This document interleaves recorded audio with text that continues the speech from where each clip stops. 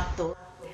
Pemirsa Ramaya kasus pungli di rutan KPK rupanya menguak fakta lain, yakni kasus dugaan kekerasan seksual yang dialami istri tahanan KPK oleh petugas KPK.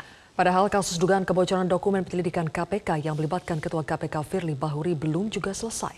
Integritas lembaga anti rasuah tersebut pun kian dipertanyakan.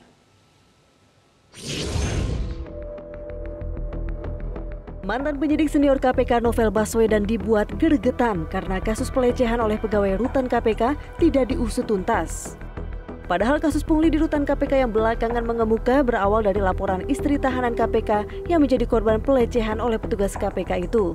Sementara pada kasus perselingkuhan antara pegawai pria KPK dengan sejumlah pegawai perempuan KPK, Dewas juga hanya menghukum ringan berupa permintaan maaf.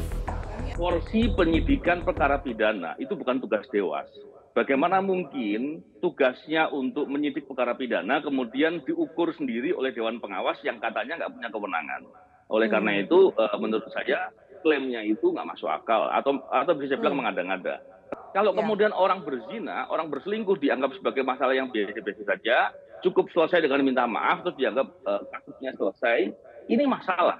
Belum hmm. lagi Dewan Pengawas ternyata juga tidak melaporkan kepada hmm. penegak hukum ini bukan bukan terkait dengan dewan pengawas saja ya mbak ya ini juga terkait ya. dengan pimpinan KPK karena ya. pimpinan ya. KPK tidak mungkin tidak tahu itu prosesnya pasti melalui mereka Terkait pungli di rutan KPK, Novel pun menyaksikan perkara ini hanya masalah permintaan fasilitas bagi tahanan koruptor.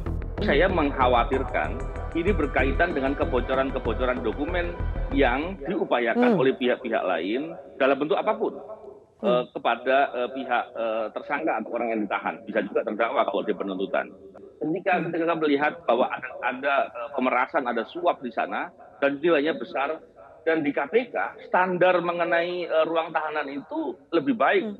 saya bisa katakan hmm. paling baik lah dari ruang-ruang tahanan yang ada sehingga setiap orang ditahan itu punya ruang tahanan yang standar dan itu sama berlakunya sama dan yeah. jenis-jenis kejahatan ini pun sama, semua tidak pidana korupsi. Tidak ada kasus hmm. copet, kasus-kasus eh, kasus-kasus penganiayaan kasus itu tidak ada. Ya. Semua hmm. kasusnya kasus tidak pidana korupsi. Jadi hmm. saya tidak yakin uang itu diberikan untuk mendapatkan fasilitas. Saya hmm. khawatir kemudian ada hal-hal lain. Dan itu berbahaya sekali. Kalau hmm. kemudian uh, yang diduga pimpinan KPK saja kasus pembocoran dokumen Dewan Pengawas kemudian tidak terlihat uh, apa ada ada gregetnya gitu ya untuk yeah. melakukan pengusutan bagaimana kita bisa mengharapkan kasus ini dia melakukan hal yang sama?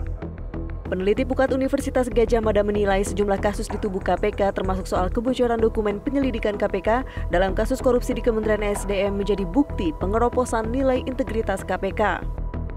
Beberapa peristiwa yang terjadi di KPK akhir-akhir ini mulai dari kebocoran informasi penyidikan di Kementerian SDM, juga terungkapnya praktik pungutan liar di rutan KPK, menunjukkan telah terjadinya pengeroposan nilai integritas di KPK. Mengapa nilai integritas merosot di KPK? Karena tidak adanya keteladanan dari para pimpinan.